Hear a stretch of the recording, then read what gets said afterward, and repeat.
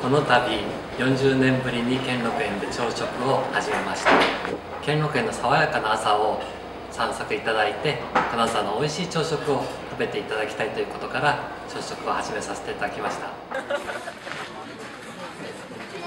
お味噌汁は加賀風になっておりますね。そして地国の方は金沢の名物になってますね。わさびを溶かしながら召し上がってください。パンセットの方はパンに仏地国を挟んだものです。こちら健常亭さんの朝食です。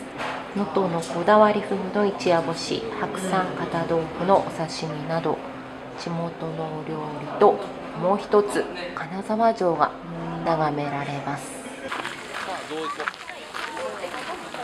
金沢の郷土料理の自分にをメインにあとあの朝食らしいメニューで企画させていただきました。